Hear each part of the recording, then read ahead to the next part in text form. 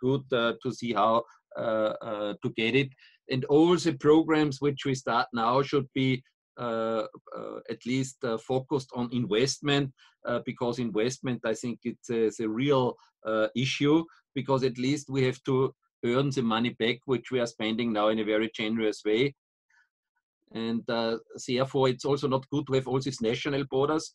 Uh, I think Italy started with a good policy to look where are the areas where people are really affected uh, and uh, tracking and see how to to keep this as small as possible.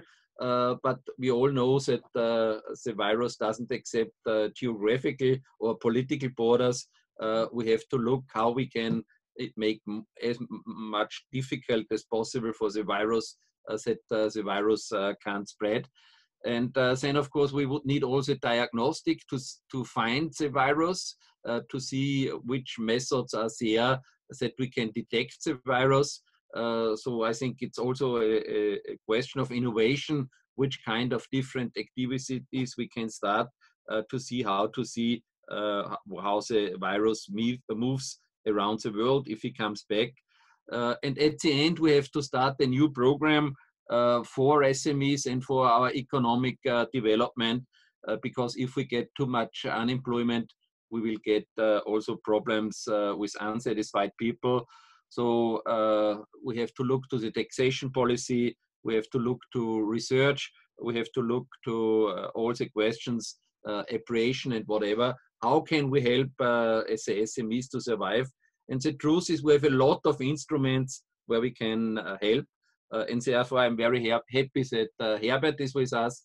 Herbert, we are very glad that agriculture will play, play as always the key role and I think it's getting more important in the future as well uh, to get uh, our products uh, as efficient as possible to the markets, to look into the future, what kind of research do we need uh, to secure safety in, in uh, food and food distribution, and how can we get a European higher standard in, in, in these areas, because I think uh, Giorgio also will tell us that progress in this area is needed. So I'm now very happy to hear from you uh, what we can do together uh, to fight this crisis.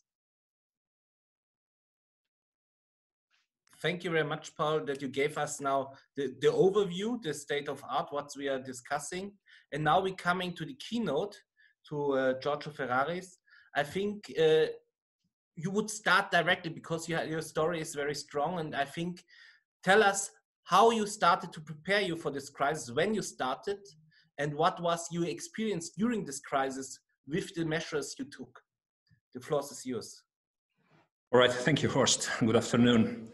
Uh, perhaps I need to make a preamble um, that uh, uh, I think that out of this crisis will come out strongly companies that are serious about the safety of their employees.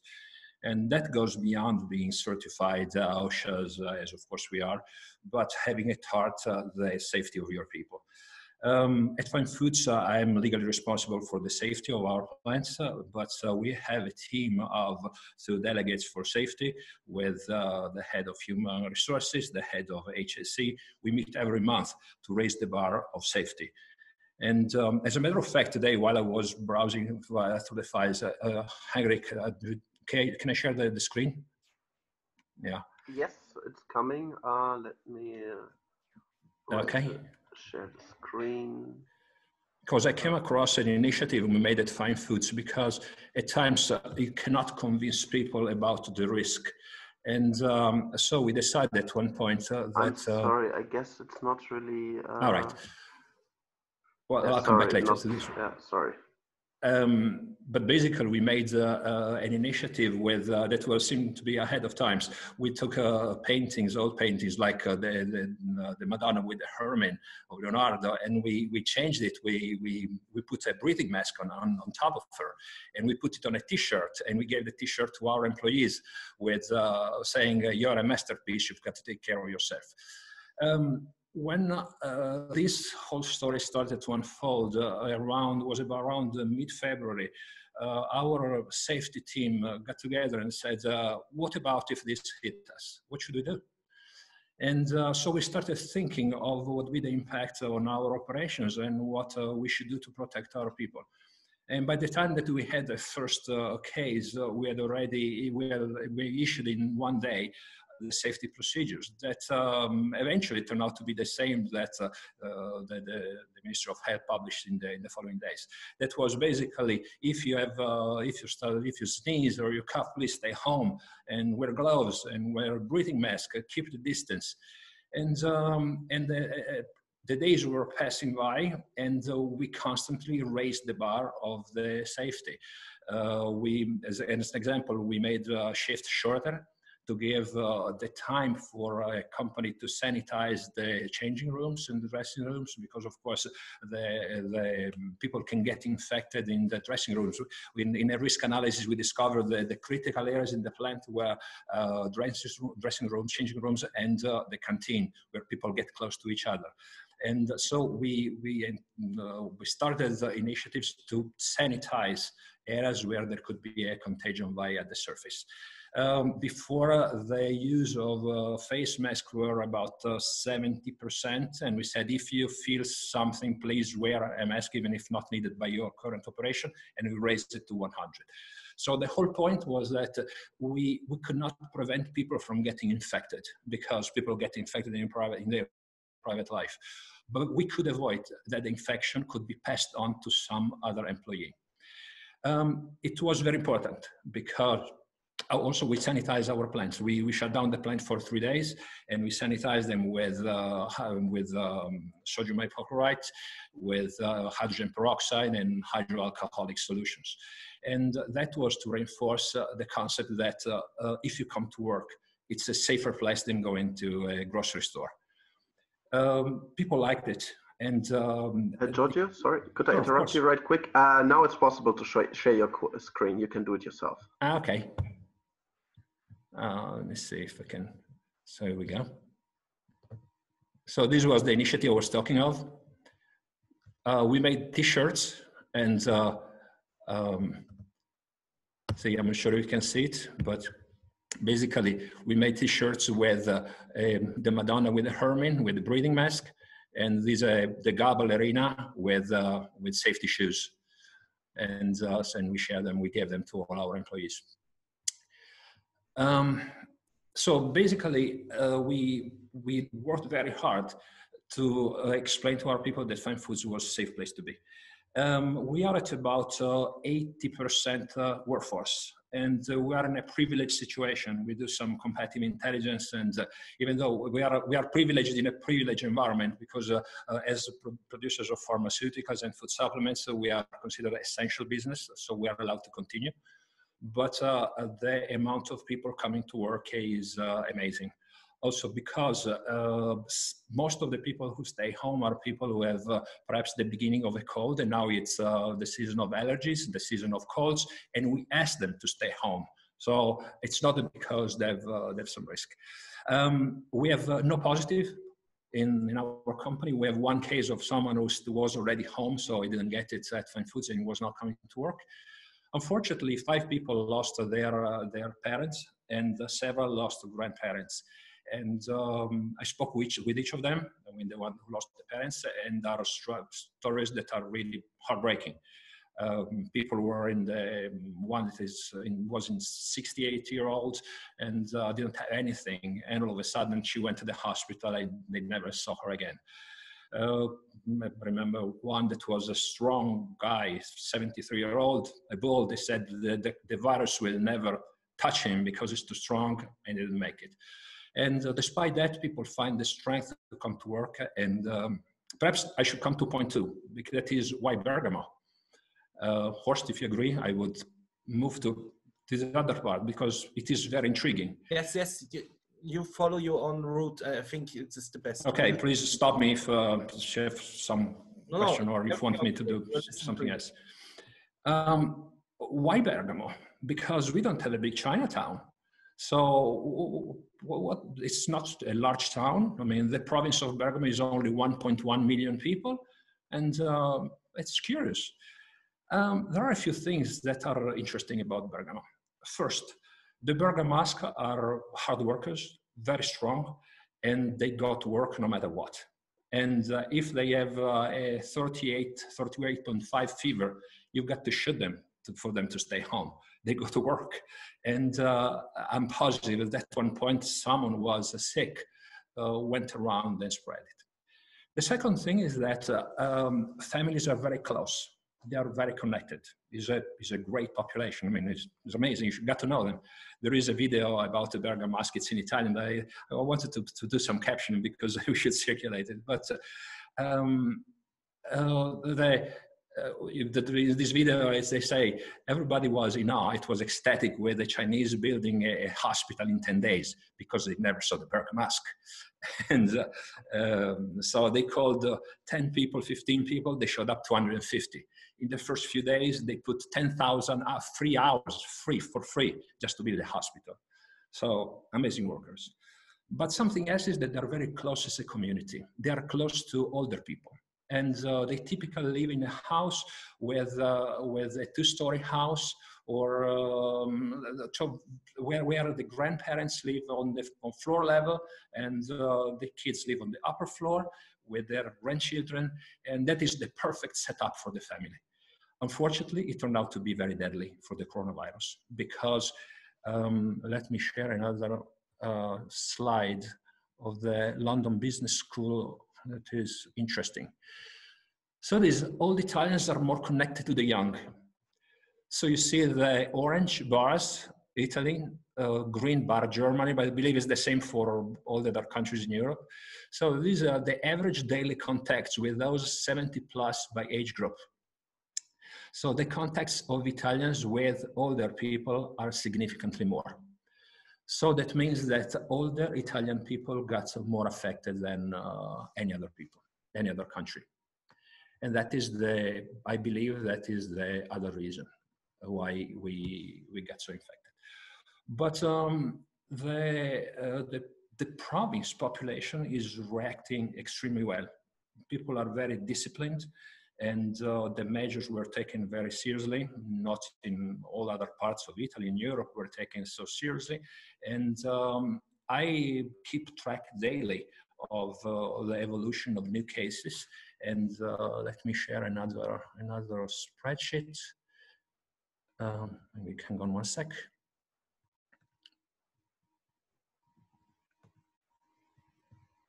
Here we go. These are the new cases of Lombardy. Lombardy is the region of uh, Milan, is about 10 million people, uh, the heart of uh, Italy, Italy's economy. And um, unfortunately, uh, there was something that was not uh, logical about this curve. And it's the fact that it starts in a city, then that city starts going down, there is another city that goes up, and then another city goes up. So there are factors that are offsetting each other. So um, I checked the moving average, but um, even that uh, not really helping. Well, when you go into the specific of a province that is a smaller cluster like Bergamo, I believe you have a better idea of the impact of the virus and the evolution of the, of the contagion. Look at this. This is what happened in Bergamo. And you see that uh, there is a constant up and down up and down, and then going up and down, and going up and down. But the interesting thing is that if we see the moving average, it's very good. So I really, I don't want to say to, to close, don't want to jinx it, but we're getting, getting out of it. And uh, so that is why I'm uh, quite optimistic on the outlook. Um, I think is uh, an amazing story of uh, of uh, our company, what we are doing. We are producing, uh, we are receiving goods, we are shipping out. Uh, we have good continuity for our customers and uh, that's the important thing as a company. Uh, the important thing for our population is that they are reacting quite well. And uh, the path forward, the path forward, in my opinion, is that we don't have to stop. I've um, this is my second crisis because I lived 9/11. I lived in Manhattan on 9/11, so uh, it's the second time that I'm hit by a major crisis. Of course, that was different, but still, I remember that at the time we went back to work immediately, and uh, we were asked to, to go to, to, go back to our regular business. I started flying again, and uh, situation the airport was extremely tense Uh, everywhere there was a high level of tension, but uh, we, we, business went back. And I believe that is what we need to do. So to go back to business as soon as possible with protections, that is very important. Companies need to understand that they have to protect their employees and do everything they can with procedures, safety measures, um, protections devices for uh, individual protection, but they've got to go to, back to work. Because if this goes on too long, then we'll be hitting badly our population much more than coronavirus. Thank you very much. I have to say it's really touching how how you uh, describe uh, and tell us what's happening in Bergamo. I think there's a really a hum humanity dimension there. Uh, you cannot ex you cannot follow if you don't had the same experience like you what's happening there. I think this and that you show also that is not about only technical acts and, and economically acts, it's also how to work together how to take care about the employees and that there are families behind who are infecting also them that they are this is really also emotional i think really a, a tough thing a very tough thing. Uh, one question before we go to the impulse statement i would have how you work together with the government how you what you heard about the european union what is this in these measures in these activities you did uh, can you tell us somehow what what you had for help or what for advice information you got from the italian government from from the european union what is there your experience please um, uh, let me perhaps just go back to one thing that I forgot. I think that companies have a role in uh, uh, teaching their people and making them sensitive to the risk. And uh, I believe that uh, what we did well at Fine Foods had been to communicate well to all our people. We issued a number of procedure via our intranet, and we asked all our supervisor to explain uh, the risk to everybody. And I believe we uh, served our population outside of the company in helping uh, people to understand the, the real risk because many companies, perhaps we are uh, again I mentioned before we are privileged because we are also we are a pharmaceutical company food supplements and pharmaceuticals. So we are more sensitive to the risk of uh, microbiological uh, contamination and uh, and our people are perhaps more receptive. But there is an important role that companies have to play to to help their people to understand it. Um, very honestly, I don't want to say something that is uh, perhaps not so um, politically correct, but uh, we are, uh, as a company or as pharmaceutical companies, not like Fine Foods, we are a little ahead of the game because uh, we are uh, typically used to do to deal with this type of problems uh, on our daily life. So our reaction is much faster. And typically, the measures that were taken by the Italian government, that in my opinion were excellent, were typically a week after or 10 days after what we did at Fine Foods. Same things, but uh, a little later. And also in terms of uh, protection devices, uh, we typically keep um, a, like a stock of protective devices. So we didn't hit the crisis of not having them. We are a very conservative company, so we try to always to play it safe.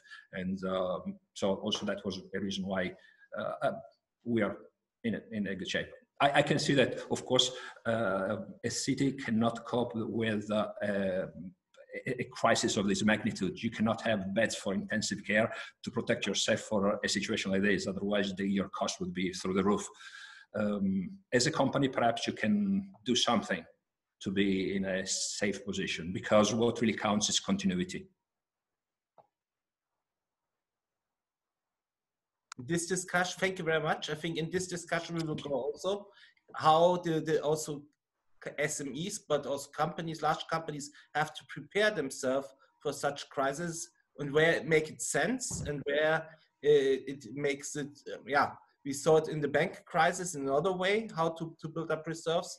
Now it's a question how we can, as entrepreneur, prepare to, uh, to such crises.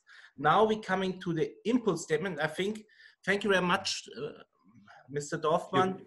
Uh, it is not your main field, in, in, in, fact, but I think here is really a political dimension inside, from uh, uh, away from the technical side, what these entrepreneurs are going through with their stuff together, and uh, sometimes Brussels is sometimes far. You are an entrepreneur who is very strong also in his region.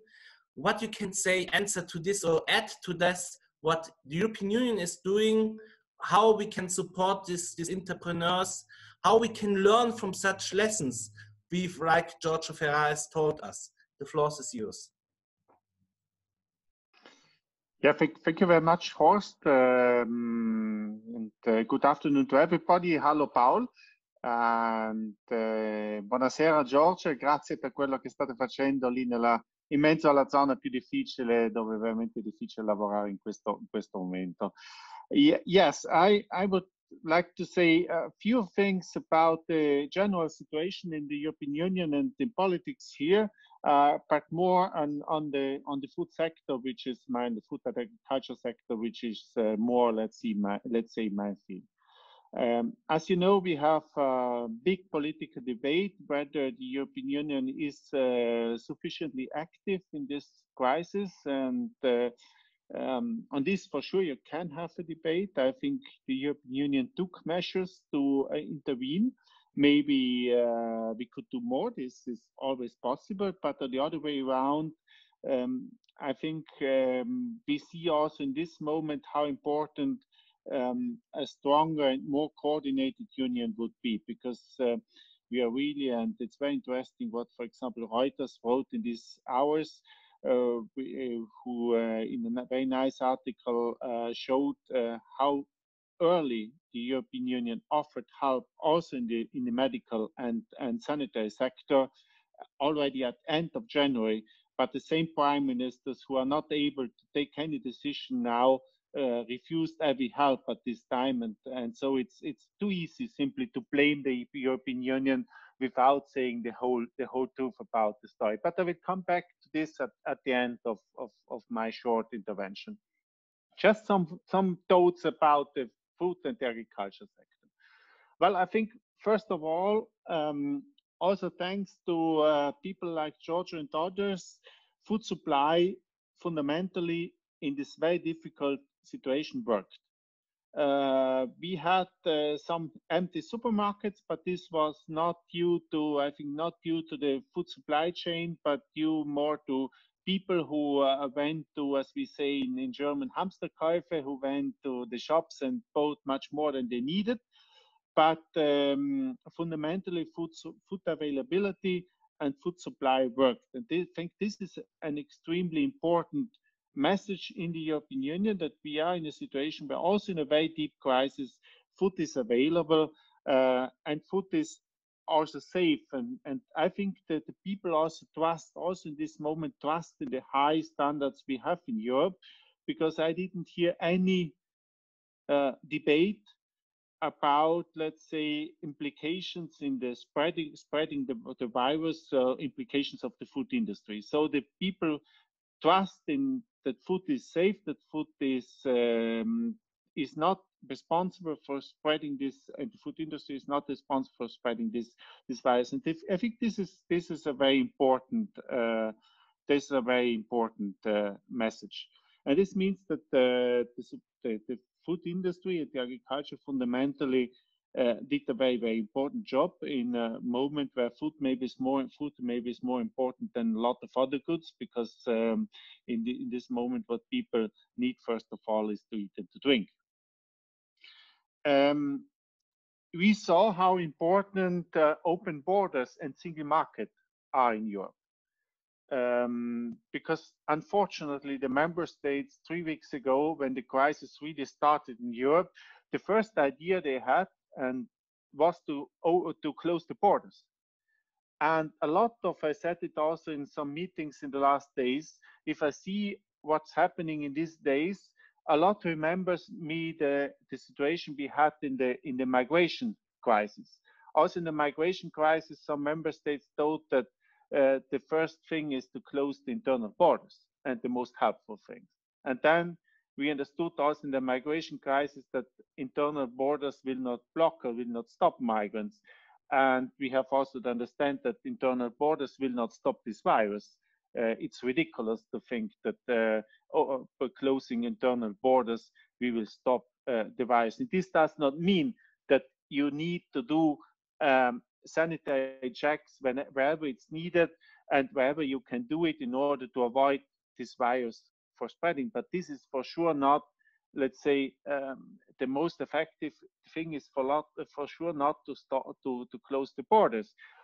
And here, I think the European Union, at least on on on the transport of goods, was uh, very effective. I I was not in my in my home region in South Tyrol in the last three weeks. I'm still in Brussels, but I follow clearly what's happening there.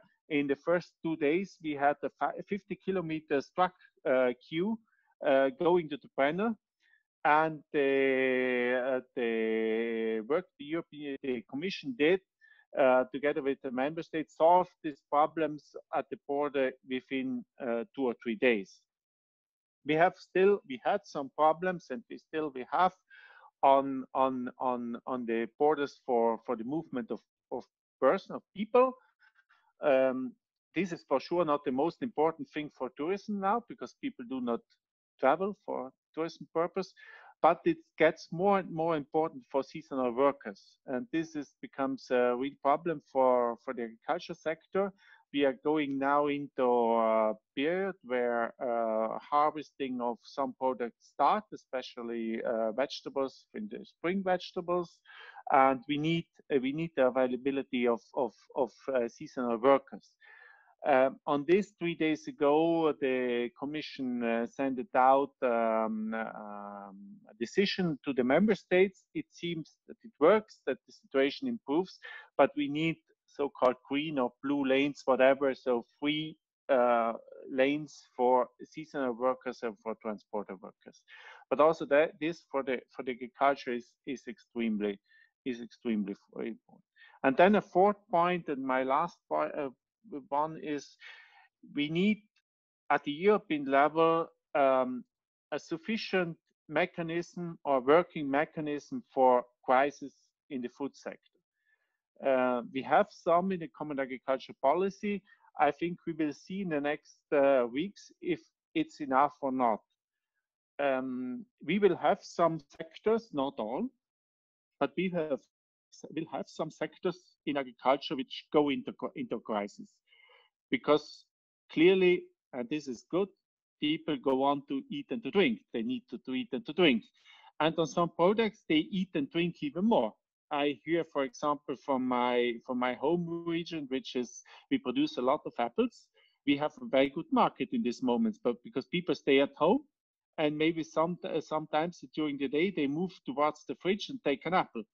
Um, other other products which are and especially the products which are very much connected with the restaurants bar and canteens will go into into problem and this is uh, this uh, is the case for now some vegetables like asparagus for example which is very much connected to restaurants it's a big problem for wine uh, which is very much connected with tourism and and with with hotels with restaurants um, this is the case also for, for products like beef, for example, Burger King and, and McDonald's, they are closed and more and the half uh, of the half, more of the half of the beef produced and sold in, in the European Union is minced meat, so go into burger fundamentally. And if the burgers are not sold because the, the shops who sell burger, first of all, are closed, for sure the, the, the beef sector, which is a very, very sensitive sector in the European Union, uh, because we have too much beef and the consumption is going down, uh, we will have a problem. And on these markets, I think we have to, uh, we need to have a good surveillance what's going on in the market, and if there is a real problem, we need to intervene, and we will see if the mechanism we have today are enough. I fear that we need uh, to, to we need to, to think in the new common agricultural policy how to improve our our um, our let's say crisis uh, management uh, uh, instruments. So that is about the agriculture. Let me say just two words about the general political situation and going on a bit on what I said at the beginning. I think this is a very decisive moment for the European Union as a whole because I'm coming from Italy, but uh, due to my let's say, situation that I'm speaking German and following also the what's what's going on in, in Austria and Germany. And I see a bit both, let's say, worlds, the Italian one and the southern Mediterranean one and the northern one in Europe. Um, I think that unfortunately, this crisis hits for now. We will see what happens in the in the in the next weeks, and we hope for the best. But for now, this crisis hits the same regions which suffered uh, in the previous two crises, in the financial crisis and then in the migration crisis. And especially in Italy, we had a big problem in the financial crisis. We were where the, the member state most exposed in the migration crisis. And on both occasions, the Italians didn't feel so much of European solidarity. And now it's the third time in 10 years. And if the Italians do not feel a real, but a real European solidarity in this moment, they will not trust in the European Union anymore. And I don't know if uh, Georges agree with me, but unfortunately, I have to say, if there would be a, a, a referendum about about an Ital exit today, there would be at least a two-third majority. So we, we the, the only thing we we do not have, fortunately for now, is a political leadership which wants to do this. But this is, can be a question of time. We saw it after the migration crisis, what happened in the political scenario in Italy. Italy.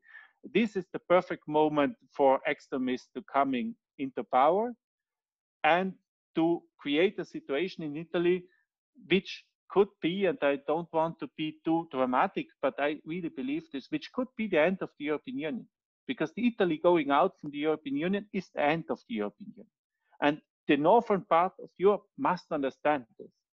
And in the debate we have in these days here, after the tremendous failure of the council meeting last week, and in brackets, if you do not agree, if the council does not agree about things, it's better they do not do a meeting.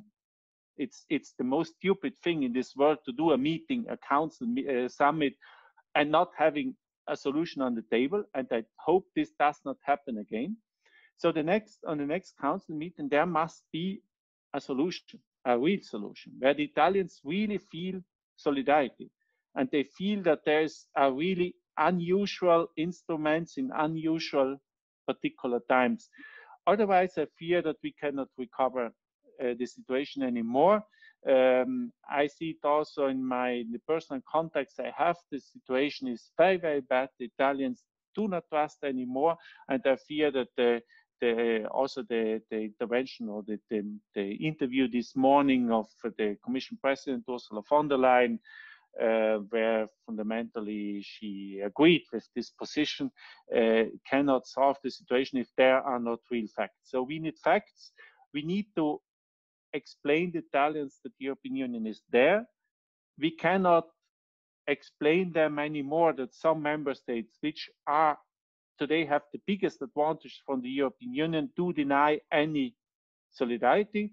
Um, otherwise, this crisis, uh, after when we come out, and I hope we will come out soon, that after this crisis will have a tremendous political consequence for the European Union, for the single market, and for the economy in Europe as a whole. Thank you very much. Thank you very much, uh, Mr. Dorfmann. I think I hope we, we can have a more positive future, but I see the dangers, what you mentioned. I, I think this will be a huge discussion, also political in the north with euro bonds, corona bonds. And I think we, if we're coming from from the food safety to this, I think it's such a general impact for every uh, area. So if the internal market is is broken away, so uh, we have also to think rethink food safety in Europe. But uh, now is the time for question and answers. Please raise your hands, uh, ask your question, and say your name and your organization. Paul, perhaps you're opening this, and yeah. Yes, I just have a short question to Giorgio. You know, I think for us in SME uh, Europe, the most important thing is which advice can we give to our companies and to our entrepreneurs do you have a list which uh, uh, which types of uh, precaution you took in in your company and uh, how the advisory people in your company had to communicate this. This would be quite uh, important because then uh, SME Europe could distribute to all our members, and I think that could be very helpful. Ocho, please. Sure, I'll, uh, I'll, I'll, be happy to share what we what we did. No problem with that. Sure. Uh, the um, of course depends on the size of the company. I think that uh, the most critical uh, environment is a medium small sized company because you have typically one person that decides for everybody and the flow of communication is relatively limited so because uh, the information goes up and down up and down doesn't go across uh, so that is where in a crisis, uh, so I mean, that situation could be even efficient and you can have even uh, excellent financials because you limit your costs your structure cost to the very minimum. Unfortunately, um, you're not well equipped to weather storm like this.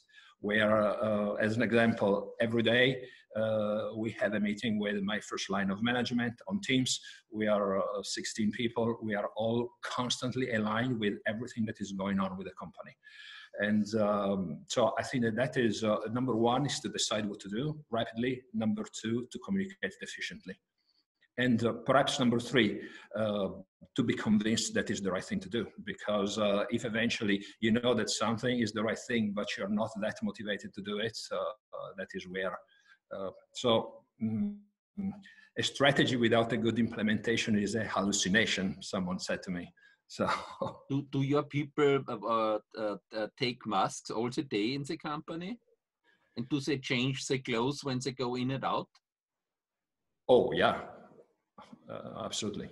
Yeah, yeah. Well, there, there are um, there are steps and procedures for what to do in every moment you are inside the company. And yeah. can we have a list of these practical things? Sure, absolutely. Could you prepare for us? I think that would be the most helpful thing. Be very happy. You know, for the one uh, entrepreneur who has uh, five or 20 employees, he should know uh, how to act properly and how to give a feeling, like you said, to the employees uh, in within our company we are safe if you go home be careful huh? yeah. that would be the best message right i think there is also a sort of um, you must be a little paranoid i'm sorry to say this but at times when there is a crisis you uh, god is in the detail you got to make sure that uh, you think of everything and that is where a group of people can do better than one person no one in the Olympics that did the 400 meters did better than four times 100, never in the world. So that is the point. And uh, uh, thinking of uh, the virus can be passed by documents. Think of it. How many times you pass a piece of paper inside the company? And uh, perhaps someone wouldn't know, wouldn't even think of it.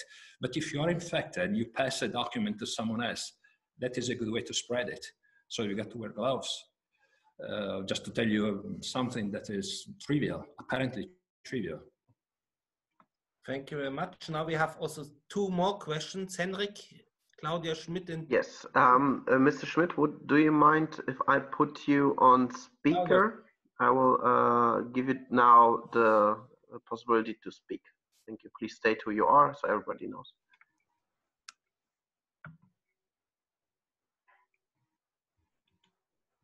She's muted still. Yeah, I'm trying to unmute her, but oh well, in that case, I can also read her question right quick. Okay, so I will read the question of Mrs. Schmidt. Uh, Mrs. Schmidt is a former MEP uh, from Austria. Uh, so the European single market has to work to guarantee the food supply and the supply of protective clothing, for example, in Europe. What are your ideas, uh, ideas to convince the member states to keep their borders open? And in what way do you try to deal with the fear of the people that food from Italy or Spain could be contaminated? Um, yeah, who wants uh, to take this question? I have to say one story on it to this. In Lidl, all the pasta from Italy was keeping there, and all the other pastas were really bite out. But the Italian products were staying in the supermarket. It's very strange what, what you can see sometimes. Giorgio? Uh, well, uh, it's education of people.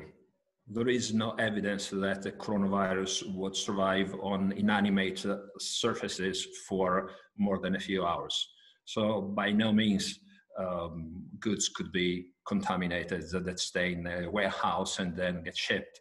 So there is really no risk. And that is the science that I'm not a virologist, but that's the science that says that. I think that we would not stop this simply by um, closing the borders, but by educating people how not to infect other people. That is, I'm personally convinced. I said, I'm back to my point that we have to go back to work. I'm not saying to to be suicidal. We have got to do it in a, in the right way. So um, explaining people how they, they have to behave, how they have to wear protections, and uh, it's doable. We are doing it, and uh, keeping, of course, as always, fingers crossed. Uh, we don't have any positive in the biggest concentration. We are above 7,000 per million in this region. That is, consider that, uh, I'm not sure if you see the average, uh, Spain now that is the first in Europe is about 2,000 and uh, average of Italy is 1700 or 1800. We in the province of Bergamo, we are close to 8,000 per million. So we are four times the highest concentration in Europe. But despite that, if you do things right, um, that is how you control it. Okay, thank you. We have a second question, uh, Henrik. Yeah, uh, so the question is from uh, Mr. Pius Sega Els. He is a trainee for uh, MEP Lukas Mandl. And his question goes to Mr. Dorfmann. Um, okay. In times of the current pandemic, what does solidarity towards Italy mean? How does it look like? Corona question marks? Mr. Dorfmann, the floor is yours. Yeah, I think uh, what it means is is that there need uh, there's a need for for for uh, economic financial solidarity, and you can call this as you want. I think it's better if you know, do not call it Corona bonds because the word Corona bonds is bonds is already a word which we cannot use anymore. But it, it I think it does not depend on the fact how we call it. Uh, the fact is that uh, the most affected member states, uh, like Italy and Spain, they will have huge costs uh, to uh, in the crisis, and they will have huge costs after the crisis because the economy will not recover from one day to the next. And I completely, fully agree with what uh, Giorgio Ferraris said before. We need to look now how to come back to produce and how to bring people again into work, but we will have high costs. And this hits a member state like Italy, which already has very, very high uh, public debt. Um, and in this in this moment, um, we do not need I think Italy does not need somebody who pays the Italian debt or who gives uh, as, as a let's say as a nice gift money to uh, to uh, to uh, to Italy. But we need to put in secure the Italian um, economy and Italian debt. So we need to avoid that uh, this situation brings or, or, or creates a, a, considerable increased spread between uh, the, the, the, the, public debt in the, in the better member states and in Italy, because this would be a, a situation which brings Italy in the same situation like Greece some years ago. And this we need to avoid, I think, in the interest of all, not only in the interest of Italy, it's, it's um, in, the, in the interest of the whole of the whole um, eurozone. So fundamentally, what does it mean? There's there's a need for a fund of of billions, probably hundreds of billions, uh, with a with a European guarantee, um, and which the the most affected member states can use in order to uh, let's say to to to have an availability of public money at a very low interest rate. So now the last question round. Think who wants to ask? One thing I would like to ask uh, Giorgio, what do you think what we can learn after the crisis for, for your the food safety? Is this also a time for reforms? Can we do something better in the future? Should we change something? Should something be more higher standards? Something should be easier? There must be better controls, better support. What are you thinking? What you can learn now out of this for food safety? Um, Well, first, I don't believe there is an issue on food safety in this case. And that's important to say because there is a confusion between the um, contagion of coronavirus and food safety. There is no risk on food safety. Um, I believe uh, I, I, want always to see the, the, the glass half full. And uh, I believe we've been fortunate because uh, if this disease were deadlier, like Ebola, we would not be talking of the same thing now. And uh, what we can learn is that uh, uh, our society is a tend not to believe. I believe that when it started in China, uh, people said, oh, well, in China, they are eating bats and dogs, so perhaps they have poor hygiene standard. Not true, because in the Hubei and Wuhan province, they're extremely advanced province.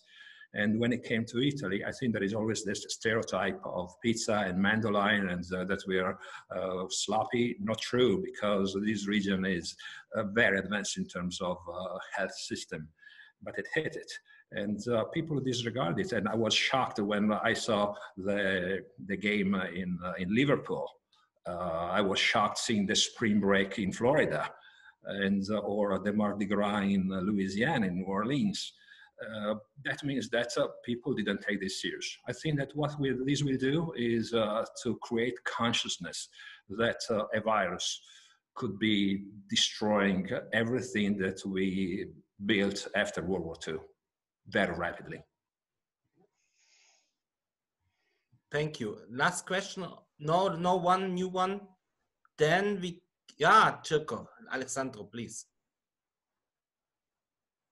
Thank you, Horst, and uh, thank you, uh, Herr Rübig, for giving us the platform here to discuss this.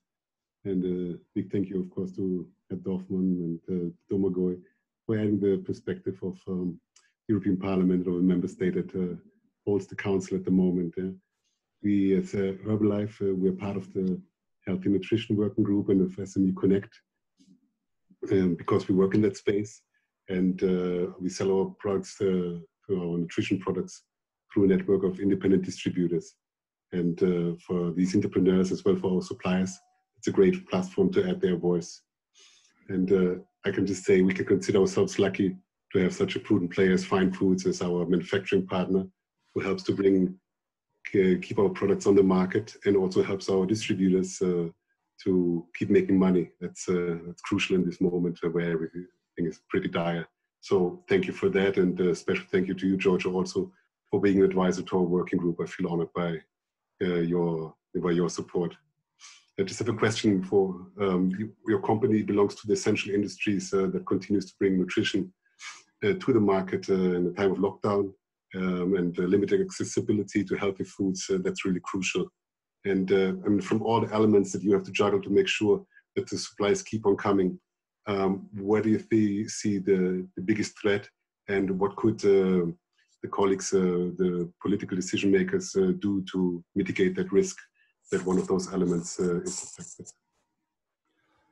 Um, well, at this point, honestly, I believe that we are, I don't want to talk it too soon, but I believe we are, I wouldn't say over the hump, but at least we reach a plateau. So um, um I would not consider a, a, serious risk. I mean, the risk is more uh, psychological of uh, final consumer that um, are afraid of buying pasta or are, will not be allowed to go out. That is more uh, a social impact than industrial. From industrial standpoint, we are um, perhaps mm, in a better position because we never stopped. Uh, we're still running at uh, almost full speed.